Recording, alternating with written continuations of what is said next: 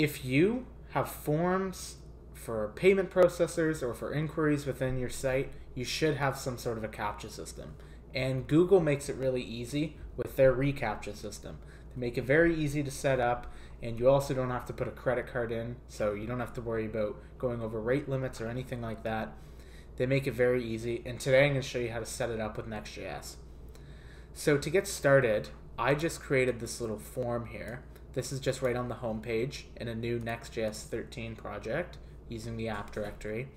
And I'll show you what this form looks like. So it looks like this. So just inquiries, are you a robot, and first name, last name, email. And right in here, we're going to put the reCAPTCHA checkbox that you've probably seen on hundreds of sites already.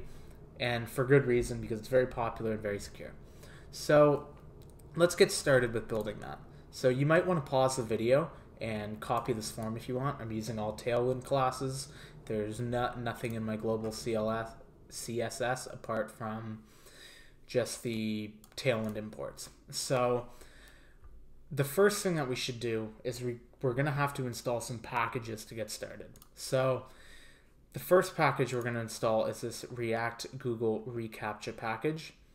So I'm going to copy this.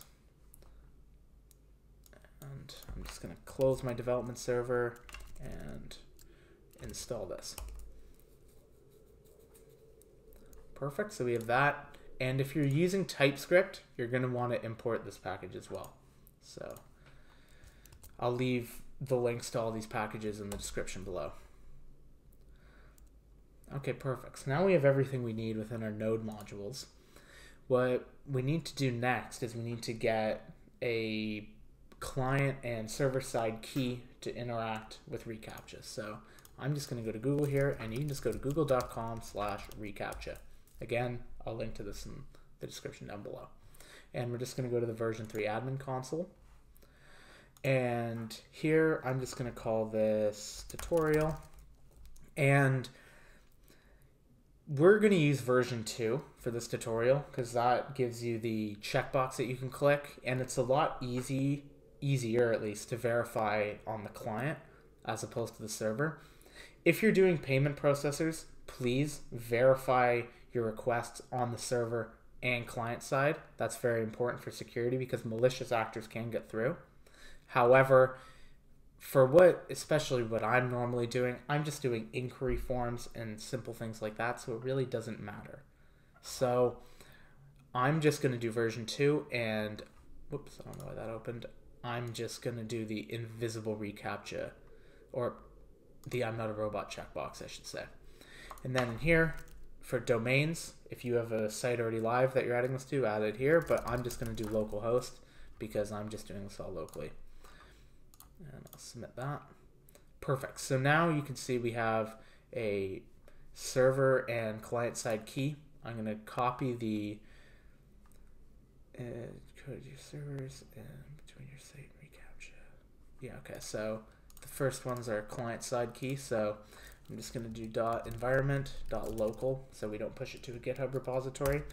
And what I'm going to call this as is the next convention with the newest version of Next.js I'm to call it next public so that the client can see it. And then I'm going to call it reCAPTCHA site key. And that will be equal to the first one that we have. As well as I'm going to do reCAPTCHA secret key. And I'm going to grab the server side key. Put that in here.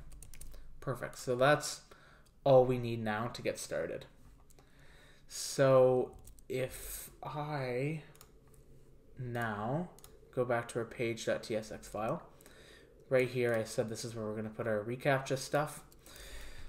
I'm going to clear that out and I'm going to create a reCAPTCHA object right from that package. And you should import that. And then all we need to do is get the site key. So to do that, we need to reference our environment variables. So process.environment if you're in a node environment, and then next underscore public, and then reCAPTCHA site key, and I'm going to flag it as not nullable, and then close that.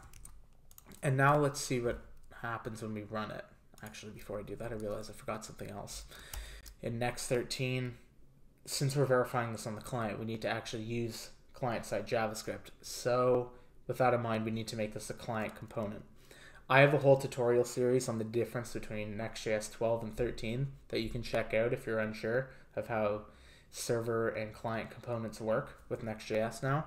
But in short, you need to just add use client right to the top of the file. Okay, perfect. So now I'm going to do npm run dev, and let's see what we get. See if we get any errors.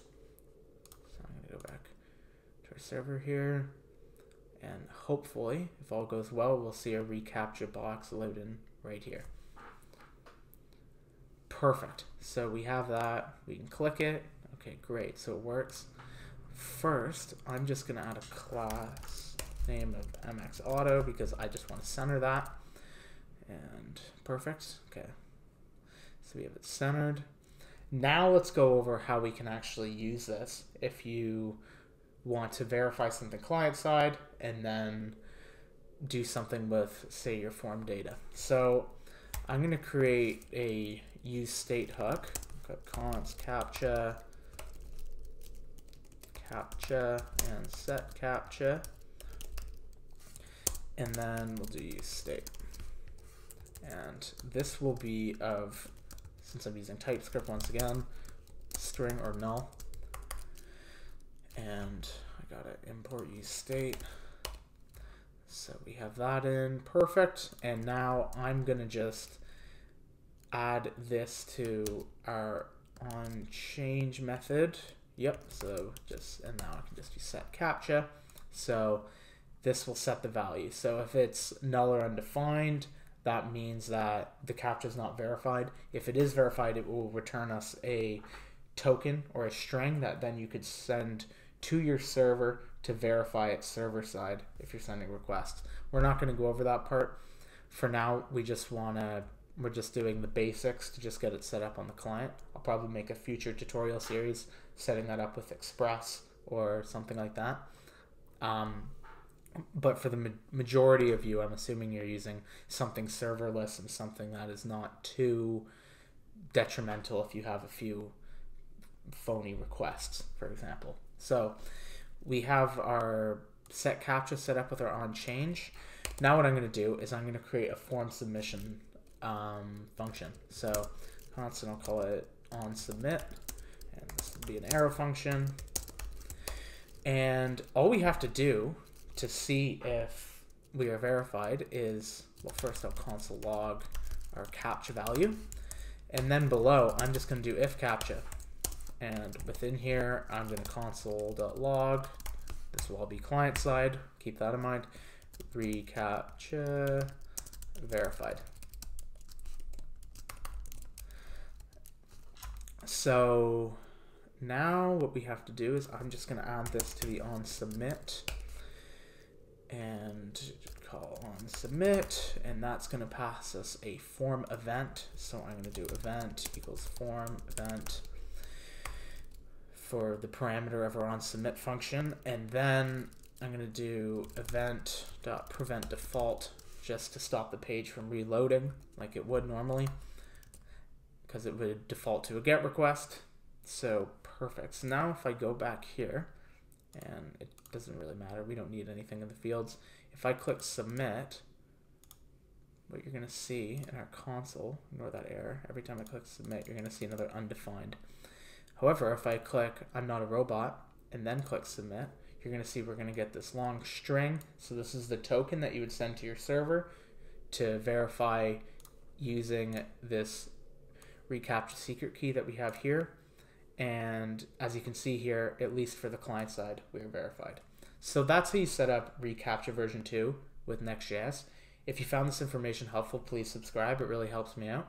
And yeah, have a good one.